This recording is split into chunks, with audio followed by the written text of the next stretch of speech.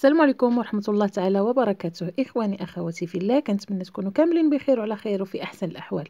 مرحبا بكم من جديد في هذا الفيديو اللي كنتمنى يلقاكم بصحة وعافية وأحوال تامة. وبطبيعة الحال مع آخر الأخبار وآخر المستجدات اليوم الإخوان غادي نتكلموا بجوج محاور مهمين بزاف. الأول تقارير سرية إسرائيلية كتقول باللي الجزائر كانت كتستعد للهجوم على المغرب. المحور الثاني وهو الجيش الإسباني يستفز المملكة المغربية وينتشر على حدود سبتة لهذا السبب. أما الموضوع الثالث فاش نقريها في العناية المركزة. بقوا معايا الإخوان نشوفوا التفاصيل ديال هذا الموضوع ولكن قبل ما نبداو كنتمنى منكم الإخوان أنكم تكثروا من اللايكات تكثروا من الإعجاب والبارطاج. الله يجازيكم بالخير وكذلك اشتركوا في القناة. متتبعي الأوفياء شكرا جزيلا للدعم ديالكم القناة. أما الضيوف الجداد فمرحبا وألف مرحبا. على بركة الله ولكن الإخوان دائما تحت شعار الله الوطن الملك والصحراء مغربيه الصحراء في مغربها والمغرب في صحرائه إلى أن يرث الله الأرض ومن عليها. وعاش المغرب لا عاش من خانه ولا غالب إلا الله. على بركة الله غادي ندخلوا صلب الموضوع. إخواني أخواتي تقارير إسرائيلية كتقول باللي الجزائر كانت كتستعد للهجوم على المملكة المغربية.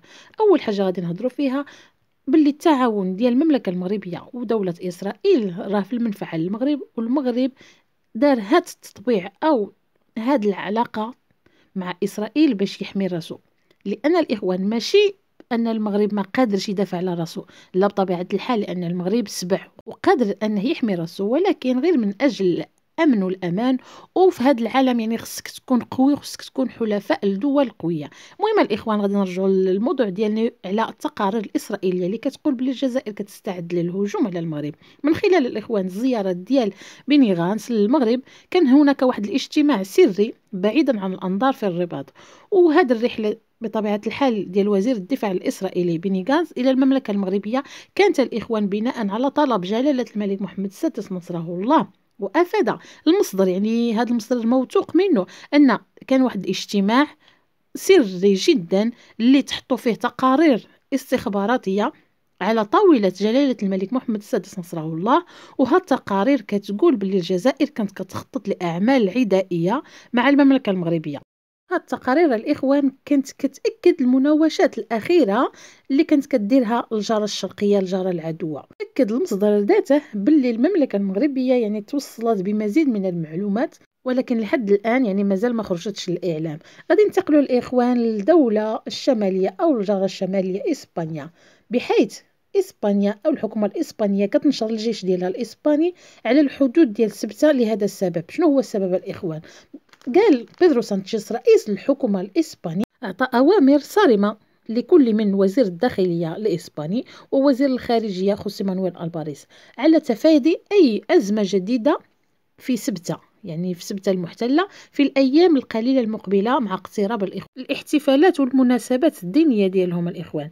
وحسب ما كتبته يعني الصحيفة الإسبانية واللي كتقول باللي وجود آلاف عن مصادر موثوقة أن هناك آلاف من المهاجرين على مقربة من حدود سبتة كينتظروا الفرصة لاقتحام جماعي يعني يدخلوا جماعيا أو نزوح جماعي وصفته التقارير بالتاريخي وهذا النزوح الجماعي أو الاقتحام الجماعي هذه التقارير أو هذه المصادر كتقول باللي كي يفوق الاقتحام الماضي في ماي الماضي والذي أدى إلى دخول مئات والمئات من المهاجرين والقاصرين. وفي ظل عدم تواجد أي تواصل مع الرباط يعني هذه الأزمة اللي كاينة ما بين المغرب والرباط. إن بيدرو سانشيز رئيس الحكومة الإسباني كيتفادى أي اقتحام جماعي على سبتة المحتلة قد يعني يفجر أو يدير واحد الأزمة جديدة مع الرباط. وأكد ضروري اتخاذ يعني الإجراءات اللازمة لتفادي أي أزمة أخرى مع المملكة المغربية وأمر بتدخل عدد هام من الجيش الإسباني إلى سبتة من أجل دعم العناصر الموجودة هناك أو العناصر اللي كاينة في سبتة المحتلة وتكون مستعدة إلى ظهر أي طوارئ أو إلى ظهر أي اقتحام جماعي. وغادي نمشيو الإخوان الخبر الثالث اللي هو شنق في العناية المركزة. كاين في المستشفى العسكري بوهران.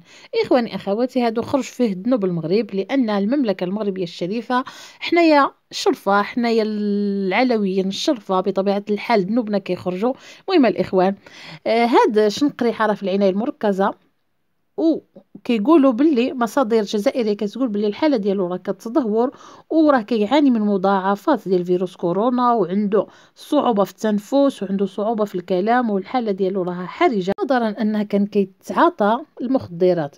هنا إخواني أخواتي شنقريحة حاليا راه في العناية المركزة. وماشي بعيده الإخوان يخرجوا ويتهموا المملكة المغربية يقولوا باللي المغرب هو اللي صيفط الفيروس كورونا باش يتعدى به شنقريحه المهم الإخوان وصلنا للنهاية ديال هذا الفيديو كنتمنى أنكم تدعمونا باللايكات ديالكم دعمونا الإخوان بالبارطاج وشجعونا كذلك واشتركوا في القناة.